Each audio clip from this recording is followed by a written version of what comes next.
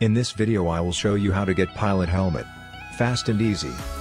This accessory will give you, plus 130% movement speed, plus 10% health regeneration, plus 250 energy, plus 250 health. Look how fast I am with this.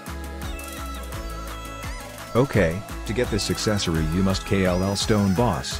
This is his location on 3rd Sea.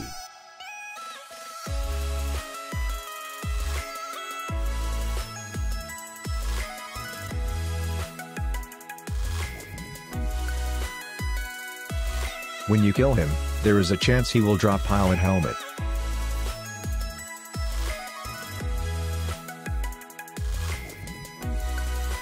That's it guys, make sure to like and subscribe if I helped you.